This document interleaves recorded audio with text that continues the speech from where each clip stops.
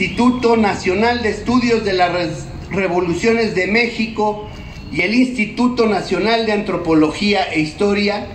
ambos parte integrante de la Secretaría de Cultura que aquí tiene su sede principal y que lleva por título Indios Conquistadores, fue ideada justamente para desvelar esa faceta determinante de la conquista,